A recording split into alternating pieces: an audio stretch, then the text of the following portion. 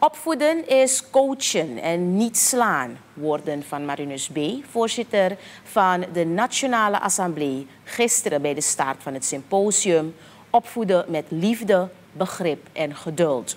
A call for action.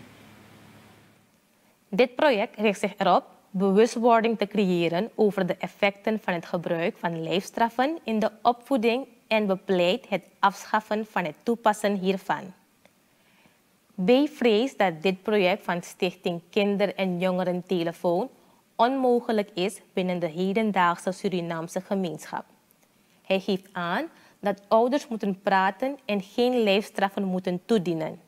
Verder moet er een balans komen tussen liefde, begrip en geduld bij de opvoeding en moeten volgens B niet slechts begrippen in het woordenboek blijven. De DNA-voorzitter staat erop dat er direct verandering hierin wordt gebracht. Het moet nu, nu, nu stoppen. We hebben geen tijd te verliezen. Opvoeden is anders. Opvoeden is coachen, is niet slaan. Ik kom uit een gezin, ja, moeder, vader, vier zonen. Dan begrijpt u hoe het eraan toe zou gaan met de harde hand u te begeleiden. En nog te laten geloven, kijk hoe uw omgeving, de jongens van de buurt, ja, ontsporen. Maar jullie doen het goed op school. Maar dat is niet wat we willen. Dat is niet iets wat we nu nog moeten verdedigen. Het moet anders. Het is niet verkeerd om mondige kinderen te hebben. Waarom zou ik een kind iets moeten verbieden zonder te vertellen waarom het niet mag? Of waarom het niet mag? Ja? U was niet in de positie om te vragen waarom niet. U moest aannemen.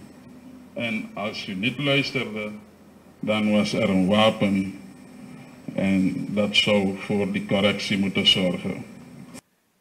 Minister Uraiki Ramsaran van Sociale Zaken en Volkshuisvesting erkent dat de stichting KJT het werk dat zij verzet niet alleen kan doen.